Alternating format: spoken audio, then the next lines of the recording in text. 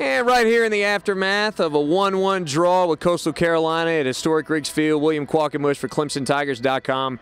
Head coach Mike Noonan. Uh, really a valiant effort by your guys. There's a reason that both these teams are in the top 11 here in college men's soccer, and the fans here got to see why here.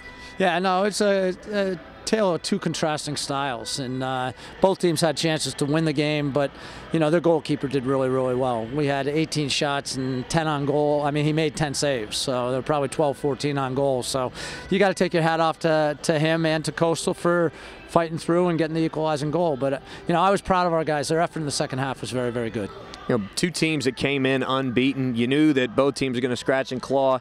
They got the equalizer there late in the second half. What was the message that you gave to your guys as you headed into extra time? What was the mentality you guys are going in with?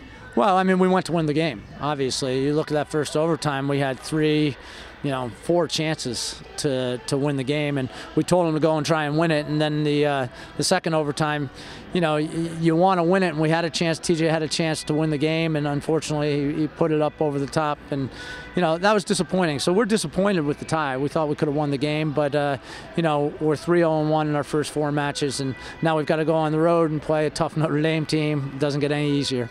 Well, you played a quality opponent, hadn't given up a goal all year. It seemed like for a lot of the game, at least early, that the pace was in your favor. Did you feel good coming out the way your team came out at the start tonight? No, to be to be honest with you, I thought the first half was our worst half that really? we've played so far this year, mm. and uh, you know, I, I, just thought that we were a little bit slow and, and not on top of our game, and you know, there was too much room in the midfield for them. So, you know, they answered in the second half. The guys came out and put a real good effort in the second half. So I'm proud of them. We'll take that into uh, South Bend.